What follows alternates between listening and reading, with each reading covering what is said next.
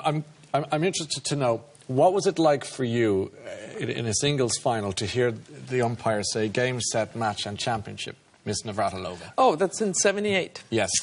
A few years later. Yes. Uh, well, it was a dream that uh, was a dream of my family, particularly my father and, and mine for such a long time. And, uh, you know, since I was about eight or nine. Sure. Now I'm 21, and uh, my family is not there because they couldn't travel. They couldn't get out of Czechoslovakia. And I didn't even know if they were watching, if they could see the match. You couldn't make any contact to say? I mean- Well, i it was too complicated to call from, from, from England, and during the tournament, it's just, you know, it's like by the time I win and then I have to play again, I, I didn't talk to them, I didn't know.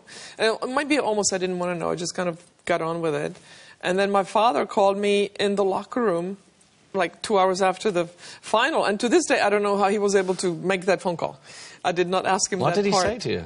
Well, they were in Pilsen. They drove to Pilsen, uh, which is a town in West Czech Republic, close to the German border, and watched the match on, on German TV. So they were able to see me, and he was just so thrilled, obviously. But it was so it was very bittersweet. I was in that moment that I won. I was thrilled that I won, but then, you know, I'm ready to cry now because uh, I couldn't share it with my family. So it was pretty rough. When you see other players in, in, in, the, in the 21st century from your home country winning, Yeah. and they look to the royal box and they see their parents, are you wistful when you see that sort of Oh, thing? of course. But I mean, I was that when uh, when uh, Sloane Stevens just won the uh, the U.S. Open last week, and then the longest embrace was with her mom. I was just, uh, you know, it's a, it's a fantastic feeling, and. Uh, and I'm so happy for her because she had it. When Andy Murray embraced Judy, I was like, ah, I was, I was actually sitting in, in my seats that you get. You get seats when you win Wimbledon, you become a member, and you get two seats uh, on center court. So I sat in my seats for the first time, Yeah.